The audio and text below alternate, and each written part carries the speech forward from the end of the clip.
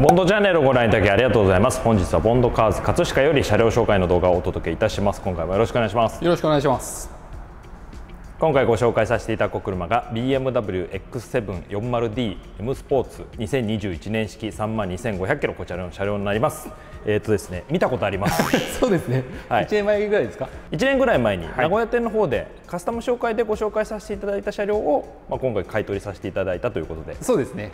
店頭で展示させていただいていると、はい、ということでカスタムの内容に関しては、はい、あの専用の動画があるので そちらを見せていただいて、まあ、車の紹介を中心に今回お届けしたいと思います、はい、で今回この X7 なんですけど、はい、藤本店長おすすめ一押し車両なんですよね。そうですね。私的には、まあ、あのもうパッと見でこのインパクトがあって、まあ、こう外外観に目いきがちなんですけど私は注目としてほしいのは、まあ、2列目だったりとか、まあ、運転席中ですねまあ、カスタム紹介の動画も中は全然触れてなかったので、まあ、そこを今日メインでこう送れたらなと思いますじゃあ中の魅力を中心にお届けしたいと思いますとは言っても外装かっこいいですね、やっぱり。ね、はい。で後期も出てざわざわしてるじゃないですか。あの何年かしたら言ってること変わってるかもしれないけど 今現時点では前期の方が好きですけども、こんな感じのエクステリアで。でグリルも結構大きいですけど車大きいんで、そんなに目立たないかなと。そう全然気にならないですね。もうこれがもう結構マッチングとしていいサイズなのかなって思いますね。そして今回3万2500キロということで、はい、まあ、ボンドカーズで展示させていただく車の中では、まあ、少し距離は多めではあるんですけども、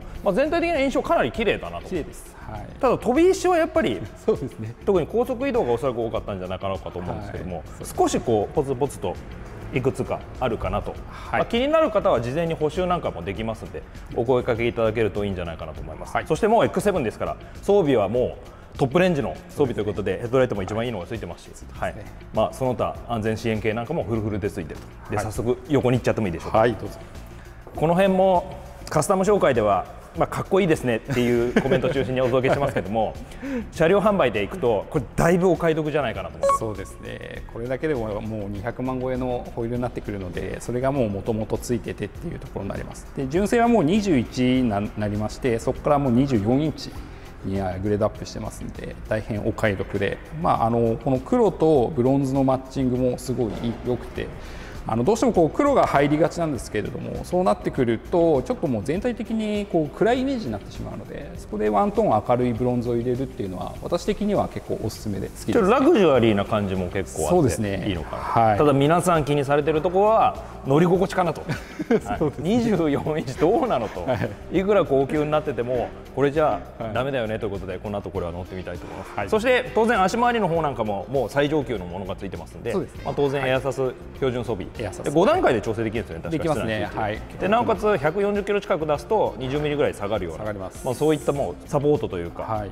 まあ、機能コントロール的なものももう一番最上級なものがついてる、はい、であとは今回ご紹介させていただくのが M スポーツということで、はい、シャドーラインのエクステリアが標準なんですよね、うん、ついてますね。ということで各部はいろいろ黒くなってて窓枠が最初から黒かったりとか、はい。まあ、クロームパーツが非常に少ないはい、引き締まったエクステリアになっていい感じです、あと車やっぱりでかいですね。でかいです、はい、5メーター超えですね。なんと5メーター超えということで、はい、ただ寸法でいくとなんか X5 よりちょっとだけ幅が狭い、はい、あそうですね。X5 の方が幅が、えーと、何ミリかですかね。5ミリぐらいなんか X5 の方が幅広ということで、だから結構プロポーション的には結構こうシュッとしたプロモーション、ただちょっとあの都内も一番狭いところ あの進んで運転したいかというとそういう車ではないと思うんですけども、やっぱりこのその分中のラグジュアリー感だったりとか使い勝手の良さがあると思いますのでこんな感じになっております。そしてエアロパーツなんかもいい感じですね、はい、あえて触れません、はい、はい、そして後ろもこんな感じで、はい、でサイズ的には355 355です。もうアベンタドールじゃないですか。ですね、はい、これまた後ろからのシルエットめちゃくちゃかっこいいんですよね、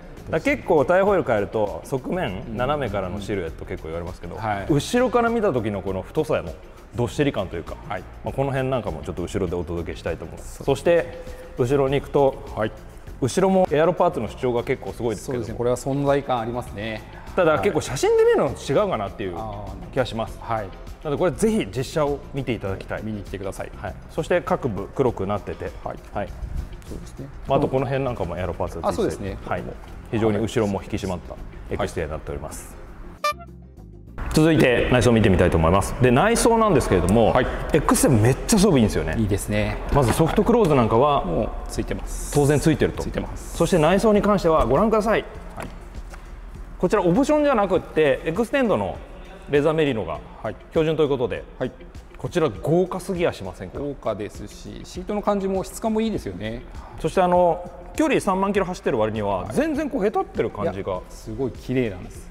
ないというか、まあ、全くなくはないですけど、はい、あの3万キロにしてはかなりコンディションがいい。そうですね。おそらく長距離メインで使用されてたんじゃないかな、そうですね、頻繁に乗り降りされてた感じではないですよね。はいそしてダッシュボードのウッドパネルも、はい、こちらもアッシュグラインブラウンウッドの、はい。はい、木目があるやつですよね。そうですね。この辺のクラスになってくるとパネルもいろいろあって覚えられないです。多いですよね。はい、これが受注オプションの方の、はい、パネルがついていると、でその他クラフテッドのクリスタルのノブなんかももちろん標準装備で、はい。まあ、詳しい機能なんかに関してはこの後乗ってみたいと思います、はい、じゃ続いて乗ってみたいと思います割とフロアが高いこんな高かったでしたっけ、ね、ちょっとここは高さはありますね。そうっすね、はい、ちょっと女性の方とかお子さんだと結構僕の短い足いやいや長すぎる足では余裕ですけれども、はい、こんな感じで、はい、そしてシートめっちゃいい、ちゃめちゃいい。ちょうどいい硬さじゃないですかこれも。ちょうどいいというか、はい、まあ、ちょうどいいですね、はい、もう包み込まれる感じ、うんうん、ちゃんとお尻と背中がこうスッて入ってそして調整に関してもかなり細かくできます、はい、そしてシートヒーターベンチレーションも当然のようについてると。でなおかつマッサージもついていいですか？マッサージもついてます、ね、最高すぎます。マッサージはそのパネル側のスイッチではい、もう一気に飛べると言いますかコントロールできますんで。こんな感じで、はい、そしてリアの操作もこっちの動画でできるということで、ねはい、えめっちゃいいんだけどそしてスピーカーは今回オプションじゃない、ね、標準のハーマンカードこちらがついております、はい、そしてメーターの方はこんな感じ。12.3インチでしたっけ、はい、はい、デジタルのメーター。そして、はい、M スポーツということでハンドルもこちらのレザーのちょっと太いタイプですね。そうですね。はい。こちらになっております、はい、そしてマルチファンクションだったりだとかあと ACC がはい、あのー、まあ言ったらかなり新しい世代の ACC なんで、はい、かなり頭がいいということで。そうですね。ハンズオフできる機能がついてます、ね、その辺なんかもしっかりついてると。この辺も機会があったらちょっと使ってみたいと思います、はい、あとダッシュも当然レザ。ー、はい、えいいいいですよねはい、7だもんね、はい、もう言ったら7シリーズの SUV, まあ、BMW 的に言うと SAV、はい。ですね。はい、ですからもう最高の内装になっております、そして、こっちのナビの方も12.3インチかな。この辺なんかは、まあ、車種共通だと思うんで、まあ、軽くですけれどもメディアなんかも全部、はい。はい、ついてますしあとはリバースサポートもついてると、ね、ということで 100m ぐらいでしたっけ、はい、50m あ 50m、はい、50m までもうそう通ったところを記憶してそのままバックができると、はい、なんでこのサイズの車なんでもしかしたらまあ男性の方でも使うシーンもあるのかなと、はい、その辺なんかもしっかりついてはい、そしてエアコン。エアコン。これなんと5ゾーン、そうですね。今回5ゾーンです。あのたまにしか聞かないです5ゾーン。標準でもなんと4ゾーンということなんですけども、ね、5ゾーンということで、前後であと一番後ろも、はい、独立で全部調整できるこちらのエアコンになっております、はい、あとはこの辺がこんな感じでなんと置くだけ充電もついてたりとか、はいね、あとここ、はい、これ保温両方できちゃう。できます。ドリンクホルダー、はい、えめっちゃいいじゃん、い。い。ですね。しっかりついております、はい、そしてクラフテッドのクリスタルノブはこんな感じで、でここだけじゃないんですよね。そうですね、はい、よく見るとここもここもちゃんとクリスタルになっているということで、はい、えー、めっちゃ豪華です、はい、そして、まあ、この辺はアイドライブ相変わらずなんでこの辺飛ばしちゃいますけど、はい、あとモード切り替えがついててあと車高も5段階で。そうですね。でカスタム紹介でご紹介させていただいてますけれども、えーと、IID のロアリングキットがついてるんですけども、はい、基準値がずれてるだけなんで、はい、まあ、機能的なものはそのまま全部使えちゃうと。使えますね。一番上がったところの車高と、はい、一番下がったところの車高が、まあ、ちょっとずらしてあるっていう感覚ですかね、これなんかもしっかりついてると、そしてここはこれ真ん中から開くとさ、ね、高級な感じしない？します。るよね。こんな感じで。ここも全部レザー張りでございます、そして割と容量もあってタイプ C が、はい。はい、この感じついてます。そしてペダルに関してはもう BM なんかはもう100点だよね。そうですね。あの人間工学に基づいたコックビットなんで、はい、フットレストも大きいですし、はい、できればフットレストにもちょっとアルミというかこのステンのインサート欲しかったですけど、ね、はい、操作に関しては全然すごく自然な感じです、はい、そして天井関係が M スポーツということで、うん、えー、黒い、はい、アンソラサイト、はい、カタログ風に言うとアンソラジットの黒いこの天井になってると、はい、これアルカンタラですよね。アルカンタラですね、はい、あバイザーも質感めっちゃいい。いいですいいですよ。わかる？この厚み。はい厚み、はい、適度な厚み、はい、そしてちゃんとこんな感じで。でも2枚欲しかったですね。ああなるほど。そういうことですね、高級 SUV だと2枚欲しい人なんで、はい、残念ながら1枚です。ですね、はい、こんな感じになっております。そしてドライブレコーダーとレーダー探知機が今回の車、はい、なんと最初からついてるということで。これは前丈、あ、えー、後ろもついてる、ついてますね。えお買い得じゃないですか。お買い得なんですよ、はいおすすめです。ということでこの辺もだってつけたら後から数万円数万円しますから、ね。えー、そうですね。でこれ付け方重要だと思うんですよ、はい、特に高級車。そうですね。変なところにつけちゃうとレザー傷んじゃうじゃないですか、うん、そうですね。ちゃんとうちの場合はこのガラス隙間につけるんで、はい、まあ、内装を傷めないように、スマートについてるんでこの辺なんかもかなりおすすめでございます、はい、そしてルームランプこんな感じで、ね、これ7シリーズからこんな感じになったんですけど、はい、そして今回そのパノラマが、はい。こんな感じでついてでかい。大きいですねこれあのつぶつぶはないんですよね。そうですね。オプションのものではないんですけれどもそれでも存在感あるので。確かに。つぶつぶ正直欲しかったところでありますけど、はい、はい、なくても全然いいかなと、はい、こんな感じのインテリアになっております、はい、続いて後ろの席も見てみたいと思います。はい。後ろドアがでかい。大きいですね。めっちゃでかい。ドア大きいなんか開口部もめっちゃ広い。広いですね。じゃあ藤本君から持ってみますか。はい。あ私が。はい。じゃあ失礼しますちょっとエアロもあってそこをまたぐの結構大変かなと。これはちょっと高さが出てでこれプロテクションとか貼ってないんですよね。はいなしですね。なんでちょっと後ろを多用される方は早めに足元プロテクションだったりを貼っていただいた方がいいかなと、ぜひぜひお願いします、はい、で藤本君の寸法をお願いします。そうですね。まあ私身長180ありますけどそれでもゆったり。でさっきシートポジションも運転する、まあ、位置でしてますのでかなりもう拳2つ分ぐらいはこうゆったりとしたスペース、ね、ちょっとじゃあ僕のお茶ましょう。はい、はい、お願いします。こんな感じで？はい、はい、全然窮屈な状態ではないです。ないですね。はい、はい。でレッグスペースなんかも？もう全然もう拳2つ分ありますんで。え足組めちゃうぐらいじゃない？いや全然組めますね。はい。そして今回はなんと6人乗りということで。6人乗りです。標準7人乗りっすよ、ね、7人乗りもありますんでなんで2列目が分かれてて、アームレストがしっかりついてる、そうですね、はいでこれシートがあの運転席とも全く一緒。確かに、はい、パンチングがないんでベンチレーションないんですけど形はもう一緒なので確かに。贅沢なキャプテンシートですね。差別がない、はい、で枕も柔らかいですし、はい、もう本当後ろで乗るっていうので全然使える車なんで。ここでポイントを押しておきたいのが最近こうアルファードとか V クラス、はい、でこう悩まれる方いるんですけど、はい、でもうちょっと飽きちゃってどうしようかな、はい、ちょっと待てと。そうです、そこで X7 忘れてないかと。そうなんですよ。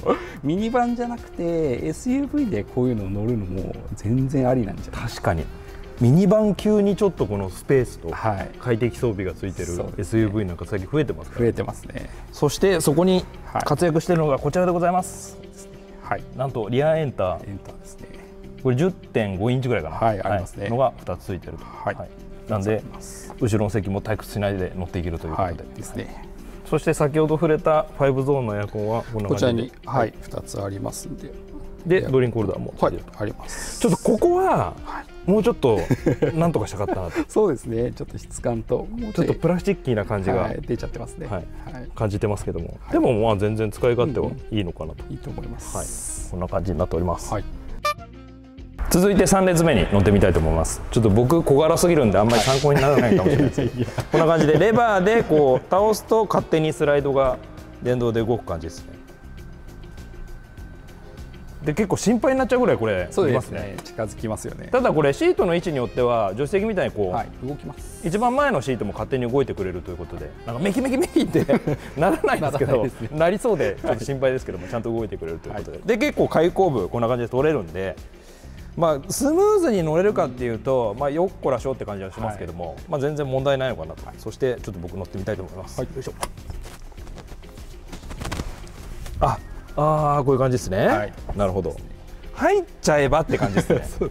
さすがに2列目そのまま行くような開口部の広さじゃないんでここをまたぐ感じは少しありますけれども、全然入っちゃえば快適かなと。ただ3列目に関しては2列目よりかもだいぶ省略されてますね。そうですね。あの座面の沈み込みも少ないですし、まあ、ちょっとこう差別を感じます、はい、で背中も割と直角です。そうですね。で角度の調整もできないんですよね。そうですね。これは固定になるので。でヘッドレストも薄いんで、はい、まあまあまあ緊急用かなと、うん、ただエアコンもちゃんとここに別でなんとついてるということで、ね、はい、ここで個別に調整できると、まあサンルーフもありますからね。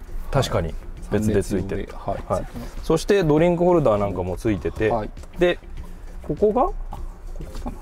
あそっち、はい、あこっちに USB がついてると、はい。はい、こんな感じになってる、はい、そしてこの3列目をなんとここで畳んだりもできるということで、ね、はい、こっちで操作ができます、ね、なんかこうあれやこれやしなくても、はい、入れ目のこのドアを開けるだけで両方ともいけちゃうということ、はい、で両方両側できるんですよね。そうですね。この逆側も操作できるので、はい、どっちから入っても、まあ、操れこう畳んだりとかっていうのができるようなこんな感じになっております、はい続いてトランクも見てみたいと思います。トランクは当然これで,、はい、この高高圧タイプなんで、はい、こっちも当然電動で。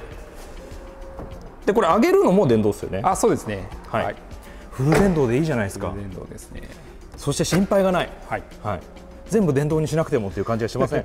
そしてそっち側か。はい、はい、こっちですね。で3列目がコントロールできるということで、はい、力でもいじれます、ね、わざわざなんか引っ張ったりとか。そうですね、はい、あれやこれやしなくても、はい、スイッチ操作一つで。できます。押してください。ポチッ、はい、で光りますね。はい。そして今2列目が奥ですね。一旦前に行って終わりました。あれもう一回押すんじゃない？はい。そうですね。はい。こんな感じででドラムが一番大きい上がってる状態だと750リッター、はい、これ片側しか倒してませんけど、はい、両側倒すとなんと2120リッターということで、はい、もう何でも使えますね。使えますね、はい、キャンプも行けますね。行けます。ちょっとレザー内装なんで積むもの気になりますけども、はい、いろいろマルチに使っていただけるんじゃないかと、でやっぱり電動で使えるのだいぶいいなっていう。楽ですね、もうこっちもあってあっち引っ張ってとかってしなくても全部こうスマートにできる、そしてトランクの上げ下げの機能もついているということで、ここでエアサスですから40ミリ、はい。上下できるということで、これあんまりいらないかなと思うんですけど まあ結構女性の方でこうそうです、ね、よいしょって持ち上げるのが大変な場合は、はい、事前に持ち上げていただけると40ミリぐらい下げるとい。うこともできると。思います、そしてこの下も、はい、どうあるんでしたっけ？意外とありますね。こんなにスペースあるの、はい、あります。えめっちゃいいじゃん、はい。はい、意外とこう、はい、かなり収納には、はい、でちょっと気づいたんですけどドアのあのドアポケットとかもでっかいんですよね、はい、広いですね。大きいですね。割と国産車に比べて欧州車ってその収納系が少ないっていうのを言われたりしますけど、はい、ことこの X7 に関しては全然そんなことないなと、まあ、いろいろマルチに使っていただけるんじゃないかなと思います、はい、続いてエンジンルーム見てみたいと思います。で藤本君はこの内装がおすすめって言ったじゃないですか、はい、僕的にはこのエンジンがこの車おすすめだと思うんですよ、ね、っていうのも、ちょっとエンジンの紹介の前にこれ X7 検討されている方だと必ずぶち当たるところが、はい、35D にするべきか、はい、40D にするべきか、はい、まあ、もちろんその50とか あの別の全然カテゴリーで考えている方もいらっしゃると思うんですけど、はい、35D と 40D 何が違うのっていうところなんですけど、エンジン自体は一緒なんですけど、うん。マイルドハイブリッドかそうじゃないかの違いが大きいんですよね。そうですね。で、はい、今回搭載されているのが 35D がなくなってその後追加された 40D ということで、はい、こちらのエンジンの方が 2992cc、はい、直6のディーゼルに 48V のマイルドハイブリッド、はい、でもう本当にマイルドハイブリッドなんでサポート系に関してはもう本当に 6kW の、はい。えー、スタータージェネレーターでしたっけ、はい、ついて11馬力ぐらいのモーターが追加されているだけなんですけども、それによってもうぐぐっと馬力の方もトータルでいうと上がっててなんと340馬力700ニュートン。で 35D だと265馬力なんですよ、馬力の差結構ある。大きいですねでトルクに関しても80ニュートンぐらい違うので、はい、まあ、乗り味だいぶ違うないや全然違います。で言ってもこの大きさのボディで重量もそこそこあるじゃないですか、はい、そこの差は結構大きいなと、はい、でももちろんその価格差も、まあ、中古車市場現れてるんでしょうけども、僕としてはおすすめはこの 40D はかなりいいんじゃないかなと、うん、そうです、ね、そして燃費も結構改善されていることということで、ね、このどでかいボディで、まあ、乗り方にもよると思うんですけども、大体10キロぐらい走っちゃうということで。走りますしエンジンタンクも80リッター入るんでまあ、長距離移動なんかにも非常に適していると、はい、そしてこれに組み合わせる方が加速オートマということで、はい、まあ、こちらは一応スタンダードなものになってくると。そしてエンジンの搭載位置なんかもだいぶ低いですね。いいですよねこの低さ。やっぱり走りが、はい、こんなエンジンルームになっております、続いて遠から見てみたいと思います。お願いします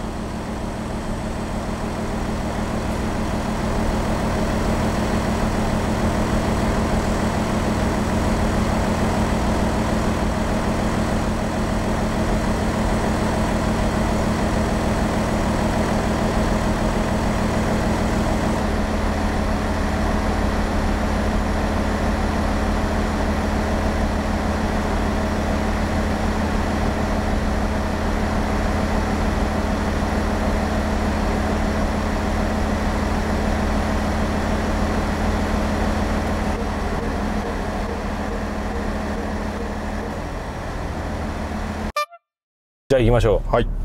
藤本先輩いいですか？よろしくお願いします。ディスプレイ機じゃないですか？あそうなんですよ。あのーはい。多分車屋さんあるあるだと思うんですけど、はい。使わないじゃないですか。大きいぞ。あの 納車の時にもちろんお渡ししますけども、はい。普段その改装だったりだとか、そうですね。僕らこれ充電しなくちゃいけないもあったりだとか、はい。あれ充電ですよねこれ。充電です。ですよね、はい。まあ、それもあったりだとか、まあ、落とすと高いんで使わないじゃないですか車屋さん、はい。久しぶりに見ました、はい。これいいんですよね。こんな感じで、はいいろいろここでも操作できちゃうと。だって車高もだってできんでしょこれで。できますね。で窓閉めたりとか。はいできます。えーいいよ。そして車の機能的なものもはい。めちゃいいです、いいです。でさっきあのもうどこがどこのシートかわからないぐらいね。あの調整できるやつ。はい。ですごいのはこの運転席からはい。助手席のこのシートが動いてるんですこれ調整できると、はい。これ全国のお父さん 多分同じこと多分思ってると思うんですけど、はい。助手席に子供が乗せて寝ちゃったと、はい。その時にこうもうちょっとリクライニングしてあげたいんだけどっていう時にはい。こうやるんですよ。そうですね。はい、うちの車まさに3シリーズなんで、こうやってこうあーって。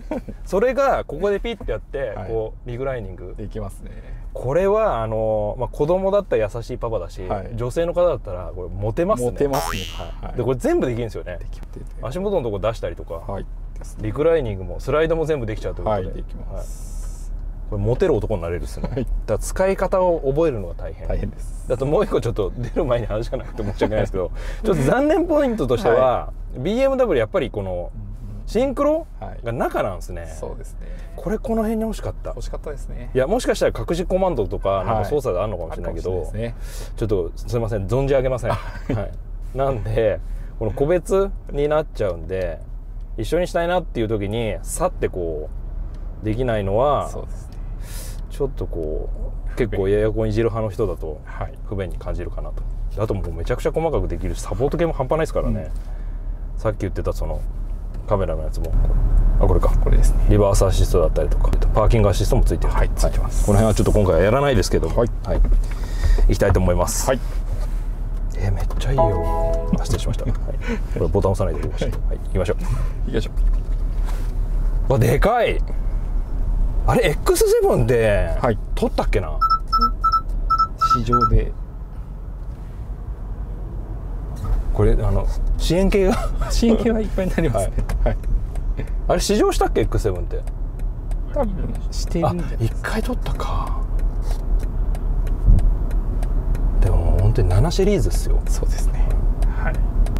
あとはこのディーゼルサウンド、はい。正直外で聞いたら、んうん結構ディーゼルサウンドするっすね。そうですね。ただあのーなんかガラガラ言ってる感じというよりかは、全体的なこのエンジンのノイズが大きいかなっていう感じ、あのディーゼル特有のガラガラ音はそんなでもないんですけどなんかこう全体的なエンジンの音は割とディーゼルらしい大きい音がするかなと、ただ中だと聞こえないの。は全然そう気にならないですね。ね。はい。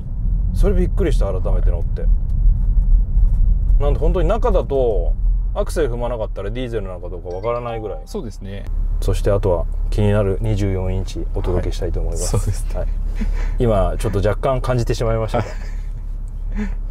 あのやっぱり24インチになってくるとタイヤの厚みがない分、ん。タイヤでこう吸収できる細かい振動とかっていうのが、もうもう少しやっぱりダイレクトに伝わってくるのかなと、うん。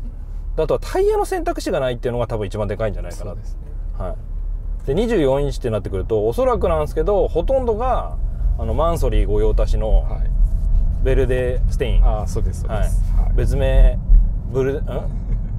ブルデシュタインだっけ？ちょっと発音が ちょっとだいぶ怪しいんですけど日本語発音だとベルデステインか。はい。それになってくるんでまあちょっとそのんもうちょっとコンフォートなタイヤとかもうちょっとスポーティーなタイヤっていうのが選べなくなってくるんでそれは少しネックなのかなと、うんはい、で今乗った感じでいくとあの僕の正直な感想としては全然乗れます、乗れます。はい。全然乗れるっすよね。でいや全然。はい。そんなに気にもともとが柔らかい設定なので確かに。ちょうどいいんじゃないかなっては思います。ねただちょっと細かい本当に細かいのはい。はやっぱりタイヤの厚みがない分伝わってくるかなっていう感じはします。ただ全体的にやっぱり車の動きっていうのは優しくゆっくりなんで、うん。不快な感じはしないですよね。そうですねあとロードノイズに関してはやっぱり純正のものより太くもなってるし、はい。扁平が薄くなってる分感じることはあるっす。はい。なんでまあちょっとどこまで僕のレビューで参考になるかわかんないですけど。あとはあれですね高速乗る前にハンズオフのクルコンを使えたらちょっとどんなものか。はい。はい。これどうなってるのかな？はい。これ前の車が行ったら勝手に行ってくれるってこと？うんどうなんですかね。ちょっと今カーブ曲がるところなんですね。じゃあ直線。で渋滞になったら時に使いたいとぜひ思います、手が離せるっていうものですね。あとステアリングも M って大体太いけど、はい。この7の M スポーツに関してはそんなに太すぎないかな、ん。若干の太さ感じますけど、はい。はい。あとやっぱり各部のねちょっとこう細かいところ、うん。ギザギザになってたりとか、ねね。細かいこう操作感がすごくいい。もうダッシュボードもレザーだし、あと視界がめっちゃいい広いですよね。目線の位置 iPhone には高いですからね。高い。だ運転のしやすさは本当にある、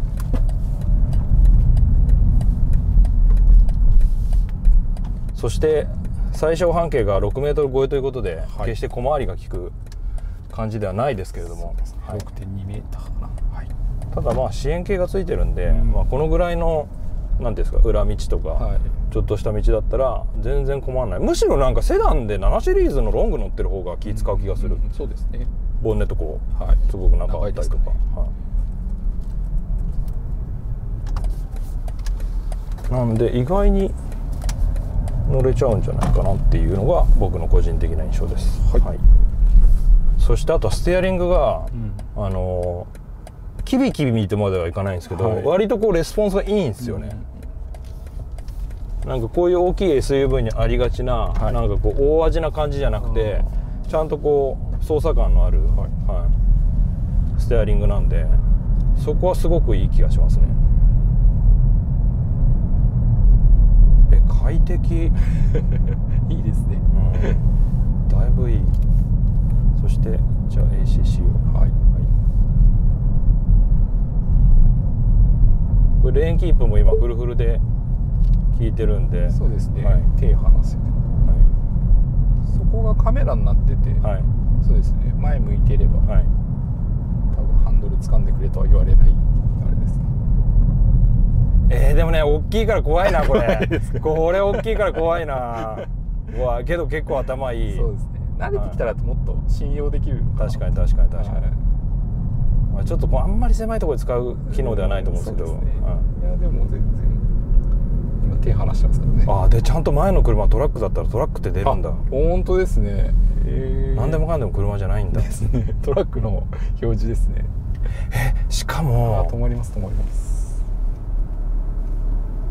停止も優しい。優しいですね。あのさ ACC も世代があるからさ はい停止がすごいさこうガックンのやつもあるじゃん。雑なやつありますね。そうそうそう。あとそのなんていうの？センターをさこう、はいキープするのも、うん超えちゃった時にクイクイって戻すのもあれば、常時こう真ん中を見て常時こう細かく真ん中走らせていくのとかもある、はいでこれは割とこうトータルでやってくれる感じかなと、はい。頭いいですよね。頭いい、うん。カメラ3つついてるんで外側から見ると。そしてあとは大きな機能な部分といったら 4WS なんですけど今回の車はついてないということで。はいなしですね、い。やそれでもこの装備の良さですからね、うんあちゃんとこれ再スタートも自動なんだ？へえアクセル踏まへえせって言ってる。なかなか使うことがないので。確かに。はい。えー、これいいな。これはいい。ちょっとダメになっちゃうね人間が。確実にこれ人間がダメになりますねそして今モードはコンフォートでこんな感じなんで、はい。ちょっとまあ高速にも乗るんで先にちょっとじゃあスポーツに入れちゃいますね。はい。あスポーツに入れるともう途端に足も硬くなって、うんそうですね。はい、ステアリングも重くなって、はい。絞らで回転も少し上がる感じですかね。はい。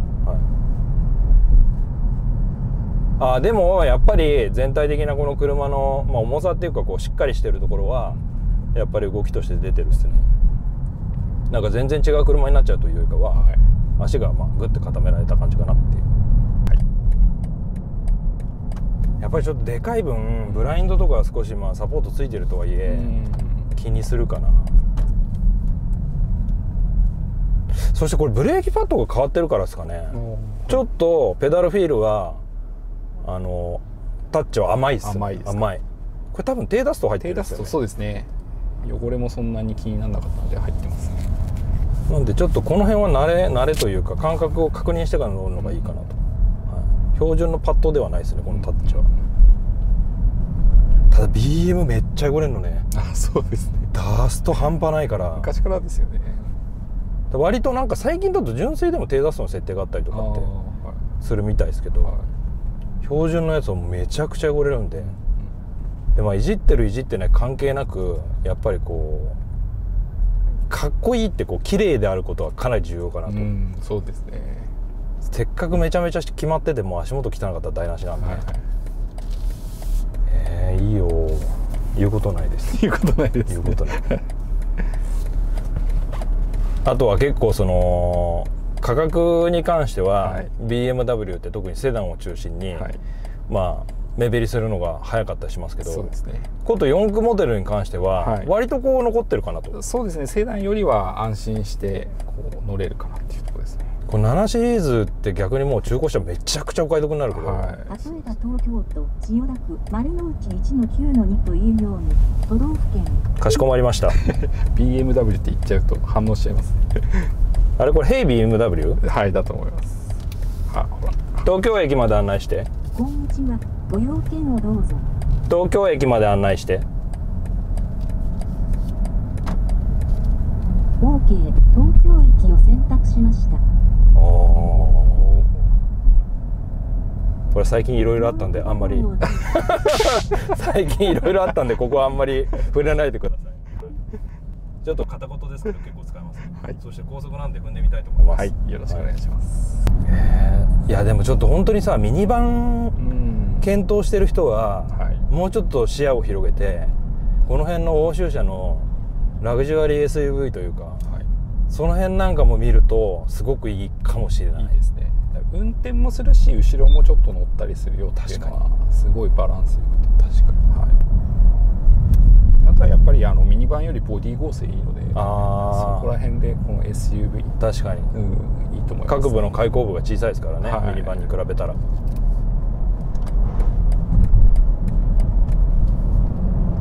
あもう全然高速に出ると大きさ感じないっす、はい、はい、そうです。もう本当に改めてこのルームミラーを見てあこんな長い車乗ってたんだって感じるぐらい、はい、なんか車の動きもなんかそういうなんて大きいものがこうすごい振ってこう車線変更する感じもないし、うんはい、あでやっぱりスポーツにするとさすがに24インチの組み合わせだと結構硬さ感じますね、うん、ただこのフラットな路面だったら全然こう乗っていけるし、そうですね。このつなぎ目とかでこうだんだんってちょっと感じるぐらい、だからそれはコンフォートの方がやっぱりいいのかなっていう、うん、コンフォートにして。そうですね。ああでもコンフォートでも少し感じるっすね。そう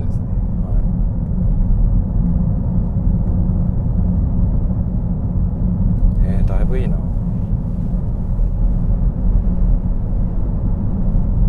そして高速に乗ったら、はい、よりディーゼルサウンドがわからない。ああそうですね。それこそ回転も落ちるから、はい、本当にもう何に乗らされてるのかわかんないレベル、直録っていうのも相性がいいんだと思いますね。ああなるほど。確かにディーゼルって言っても今いろいろあるからね。ありますね4発のもあるし、はい、本国だとだって V6V8 のディーゼルまでね、はい、ありますね。BM のこの ACC の使い方が。うわめっちゃいい。ダメ人間と呼んでください。いやでも運転面倒くさい時ありますからね。そういやでも首都高だと多分あんまり使わないと思うけど、はい、本当に新東名とか、はい、関越東北道を使う方はもう ACC の必要性というかそうですね、はい。まあ、もう身に染みて多分分かってると思うんで、だって今一番新しいやつだと、まあ、もちろんその自動運転に近いのもあるんですけど、はい、もうウインカー出したら勝手に車線変更してして勝手にウインカー戻してくれるやつまであるぐらいなんで。で、ね、あとこれ結構重量感じるんで、はい、外反パネルどうかなって今見たんですよ、うんうん、さっき出る前に、はい、そしたら意外なことが発覚しました。あのー、ほとんど外反パネルアルミなんですけどリアゲートだけはスチールなんですよね、はい、これ意外だなと思った。フロントの、まあ、フェンダーはもちろんボンネットあとドア4枚は全部アルミだったんですけど、うん、リアゲートだけスチールなんですよね、でまあ多分何か理由があると思うんですけどそうですねだ結構ぶつけたら大変だなと思ってこれだけアルミ対応してると、はい、いきます、はい、お願いします。ああそんなにもちろんめちゃくちゃ速くはない。そうですね。けど全然十分。十分ですね。そしてあの高速踏んだらもうちょっとディーゼルサウンド聞こえるかなと思ったら、うん、聞こえない。聞こえない。静かもちろんエンジン音聞こえるけど、はい、ディーゼルっぽくないよね。ないですね。全然です。ただトルクトルクの出方と回転の上がり方はちょっとディーゼルっぽいかなっていう感じしますけど、はい、これ全然十分ね、でもちろんこう欧州車だから200オーバーでそうですね。あの巡航するポテンシャルあるわけじゃないですか、はい。快適そしたらじゃあ藤本先輩は快適装備のレビューをお願いします。快適装備のレビューですか？じゃあベンチレーション勝手にオンにします。あそうですね、はい、これ後ろも欲しかったとこですよね。ああ、はい、確かに。あそこまで。シートヒーターはついてるんですけど2列目はベンチレーションないので。最近2列目ベンチついてる車もありますから、ね、そうですね増えてきてるんでそこがちょっと惜しいかな。ベンチレーションの効きはどうですか、はい、いやもう全然ここは文句なしで涼しいのでお尻と背中も？そうですね背中効きます。なんで暑がりの私にとってはちょうどいい結構涼しいぐらい効く感じ。はい涼しいです。涼しいです。あれ助手席もマッサージがついてる？もう一緒ですねついてますね。じゃあマッサージレビューお願いします、はい、マッサージ直感でここで押せるのが出るんだあそうです。連動してこっちで部分とスイッチはもうここで3段階できるので、はい、いいですね。しっかり押してる感はあるので。なるほどで背中も？背中も。お尻も？も。はい。個別も？個別も。肩腰。そうですね。上半身あるんで。あこれ脇と背中のその真ん中のところと全部個別にできるんだ、はい、結構細かく設定できますね、いや結構マッサージいらんでしょっていう方も多分いらっしゃると思うんですけど、はい、あのー、結局血流が悪くなるとそれが疲労につながったりとか、まあ、それシートヒーターも一緒なんですけど、はい、快適装備の一面もあるんですけどその安全に運転するための目的っていうんで、はい、結構シートヒーターとかマッサージとか、はい、だからレガロシートがシートヒーターついてるのはあの快適装備じゃないんですよあれ。あそういうことなんですね。あの講習受けてきました、ね、あへえ結局その同じ姿勢でいって、はい、あの血行不良になっちゃうのを温めて血流良くして疲労を軽減するっていう目的でついてるんですよ。そうなんです。だから BMW もおそらくそうじゃないかなっていう。割と長距離同じ姿勢なんかグッて伸びができない時に、まあ、少し温めてマッサージしてあげるとだいぶ疲労が変わってくるという。そうですね、はい、たまにはちょっとらしいことを言ってみました。勉強になりますいや今回勉強になりました。勉強はい、いい車。いい車です。なんでも X7 探してる方にも、はい、もしくはこの動画見てくださって、はい、あれなんか意外に良さそうって思ったミニバンを探してくる方にも、はい、はたまたセダンでずっと来た方でも、はい、やっぱりちょっとこうセダンの7と SUV の7だいぶイメージ違うし、違いますね、使えるシーンもだいぶ違うと思うんですよね、はい、でセダンだとどうしてもすごいフォーマルな感じしますけど、うん、SUV だとかなりファミリーユースだったりだとか、ね、いろんな方にも使えるし、はい、じゃあ逆にそういうフォーマルな使い方できないのって言った時にできるじゃないですかこれだったら、はい、でもそれこそマルチに使えてかなりこう利便性も高いんでおすすめなんじゃないかなと、はい、おすすめです、はい、ありがとうございます。はいありがとうございます。じゃ最後になりますけれども、はい、今回この車外のタイヤホイール履いた車両のご紹介なんですけども気になるところとしては、はい、純正のタイヤホイールっていうのは、はい、しっかりあります。あるんですね。あります。これ結構でかいと思うんですよあの車外のホイールを履いてる中古車でも、それが純正あるのかないのか、そう、ね,、すると純正に戻すことができますし、はい、また使い方によっては冬用なんかに使っていただいてもいいんじゃないかなと思います。ので、その辺もお気軽にお問い合わせください、はい、というわけで今回は BMW X740D M スポーツをご紹介させていただきました。車両の詳細は動画の説明欄よりご確認ください。最後までご視聴ありがとうございました。ありがとうございました